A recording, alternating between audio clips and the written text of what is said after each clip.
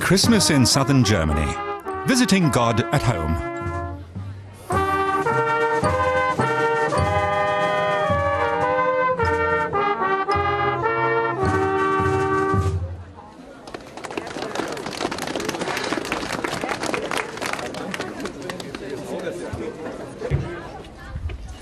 I've lived in Germany for almost 30 years. I even have a German passport. But if you asked me to describe a typical German Christmas, I'd be hard pressed to answer. Germany has so many aspects. Friends told me, go to Bamberg. There's nowhere more traditional. I discover nativity scenes are a vital part of that tradition. People here like to stage the Christmas story at home with miniature figures. How Mary gave birth to her child Jesus in a manger in Bethlehem because there was no room for them at the inn. At the Christmas market, you can buy all the accessories you need. But there's also a nativity route in Bamberg, a kind of tour on which you can view more than 400 public nativity scenes. Where's the starting point? I assume this fellow must know, but he seems preoccupied.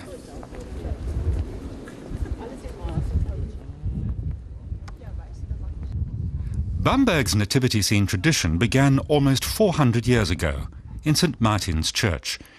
This is where the Jesuits staged the Christmas story with figures for the first time. And just as I arrive, a flame from the Nativity Grotto in Bethlehem, the site of the very first Christmas, is being carried into the church in solemn procession.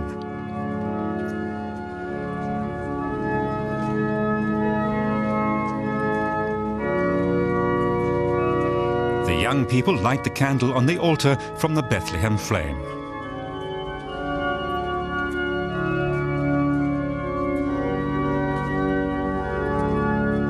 Sadly, the original nativity scene went missing when the Jesuit order in Germany was dissolved in the 18th century.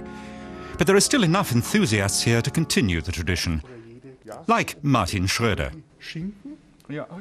I always imagined a Christmas nativity had to include Jesus in the manger, but here the Holy Family is noticeably absent. Martin Schröder explains that the tradition in southern Germany is to stage the individual scenes of the story leading up to Christmas separately. It seems that when I arrive in Bamberg, Mary and Joseph are just arriving in Bethlehem. The rooms are all occupied. Mary and Joseph are turned away. The Holy Family is tucked away, almost hidden in a corner of this scene. And that's deliberate. The birth of Jesus occurs unnoticed. I didn't know that in southern Germany the Christmas story is presented in stages. That's why I didn't see the Christ child. He's only born on Christmas Eve. Frankly, I'm a bit disappointed. But I'm not giving up yet. I thread my way through the town, traipsing uphill and down dale. Bamberg was built on seven hills. this nativity route certainly keeps you fit.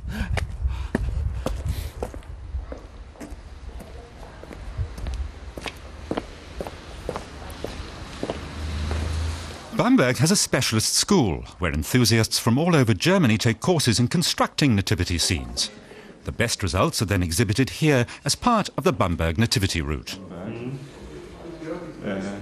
And just look at that. There's also a beautiful 19th century Christ child on display. Hildegard Wiedstrom is the chief instructor. She designs a new nativity scene for herself almost every year. This time, she set the birth of Christ in an alpine hut. Her work is impressive. And I'm not surprised when she tells me that she sold a number of her nativity scenes abroad.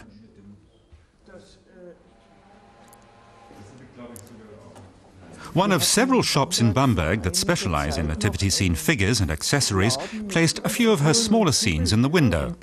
She tells me with obvious pride that they were bought by an Australian businessman. The quality label Made in Germany seems to apply even to nativity scenes.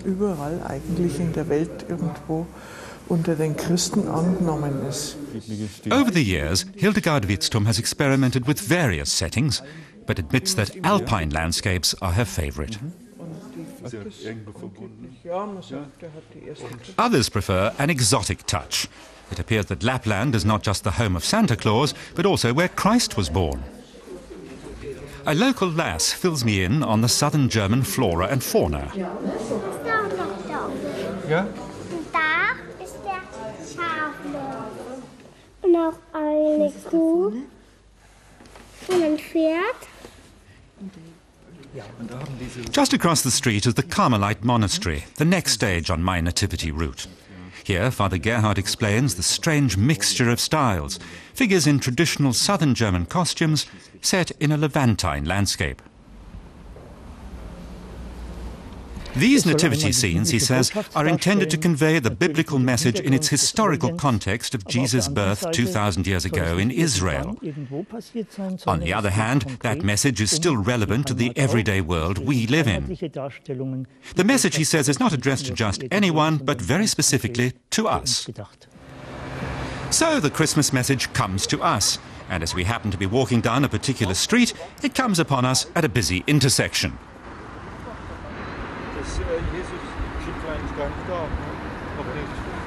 Wollen wir nicht mal reingehen und ein bisschen näher angucken? Wollt ihr? The father tells me that the figure of the Christ child, half a metre in length no less, was stolen one year.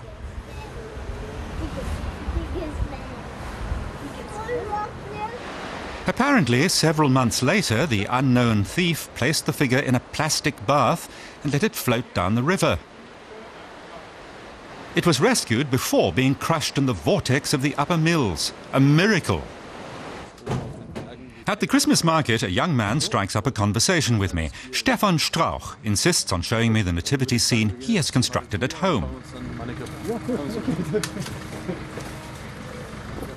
In diesem Zimmer? Ja. ja. Ach du meine Güte, das glaube ich nicht. Diese Größe. Auch dann meine Güte. In the smallest room of the flat, he proudly displays the biggest home nativity scene you could imagine. Uh, I'm struck by the loving attention to detail, auch früher der Pferdestall in dem Haus. and especially the precise construction of the roofs. He tells me that he and his father made the buildings. und dann das Anziehen der Figuren. Clothing the figures and furnishing the interiors, he says, was his mother's job. Hat dann glaube ich schon meine Mutter gemacht. High up on the hill called Michaelsberg, in the Benedictine Abbey, there's another nativity scene awaiting me. I'm not sure what to expect from this final stop on my nativity route.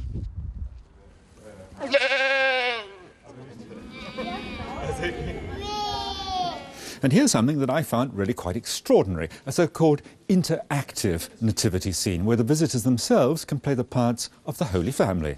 Kann, können wir jetzt hier reinfahren? Noch der ganz viel Fell. Lassen wir das rum. Ja. Ja. Wenn Sie vielleicht Maria helfen könnte mit ihrer Ja. Genau, mach ich.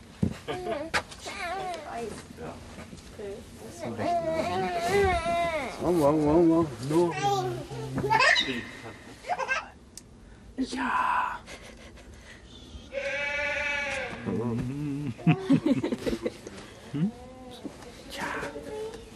Mäuschen.